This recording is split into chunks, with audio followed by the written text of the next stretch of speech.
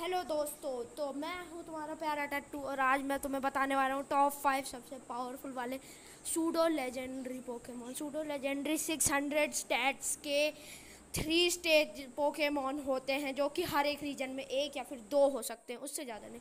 Number five Tyranitar dual type का Johto का बहुत पावरफुल वाला सूडो लेजेंडरी जो कि मेगा इवॉल्व भी होता है। नंबर फोर ड्रैगनाइट ये बहुत ज़्यादा पावरफुल कैंटो का सूडो लेजेंडरी है, जो कि ड्रैगन और फ्लाइंग टाइप होता है। थ्री स्टेज है। और ये ऐश के पास भी था, गैलार के अंदर। तो चलो नेक्स्ट पे चलते हैं।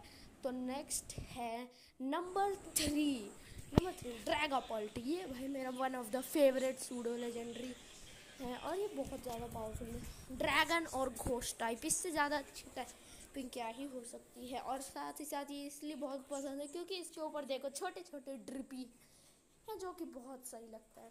चलो नेक्स्ट की तरफ़ चलते हैं।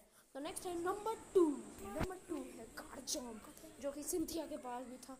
और वो one of the best Pokemon और सबसे स्ट्रॉन्ग पोकेमोन में एक है। और इस गार्चोंप ने सिनो में तो भाई सिंथिया को चैम्पियन बना दिया। और यूनोवा में भी इसने बहुत ज़्यादा अच्छी परफॉर्मेंस की थी। चलो नेक्स्ट की तरफ़ चलते हैं। और ये है ड्रैगन और ग्राउंड टाइप है।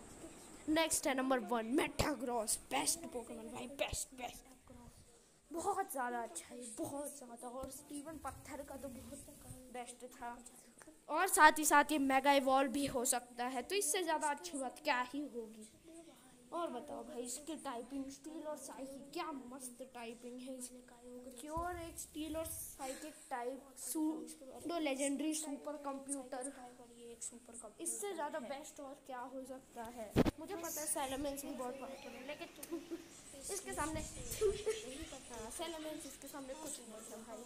चलो नेक्स्ट कमेंट में अपनी अब क्या बताओ अब तो सब खत्म हो गया चलो बाय बाय गाइस अपनी रैंकिंग कमेंट करना मत भूलना ओके bye.